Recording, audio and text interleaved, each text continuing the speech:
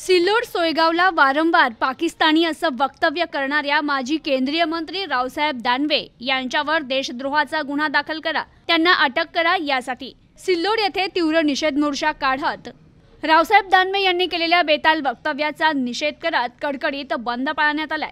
रावसाहेब दानवे यांच्यासह त्यांच्या कार्यकर्त्यांनी अजिंठा येथील आंदोलनात सिल्लोड सोयगावच्या जनतेला पाकिस्तानी म्हणत अपमानित केलं होतं. याच घटनेच्या निषेधार्थ आयोजित मोर्चात जनसागर उलटला होता. हातात तिरंगी झेंडा घेत दानवे यांच्यावर कारवाई करा भाजपमधून त्यांची हकालपट्टी करा अशी मागणी करत घोषणाबाजी करण्यात आली आहे. तर रावसाहेब दानवे यांनी केलेला हा अपमान जनता विसरणार नाही. तुम्हाला या जनतेनं घरी बसवलंय? आता रस्त्यावर आणेल असा इशारा यावेळी मारुती वराडे यांनी दिलाय. प्रतिनिधी Nadeem Shaikh news today twenty four Sillod.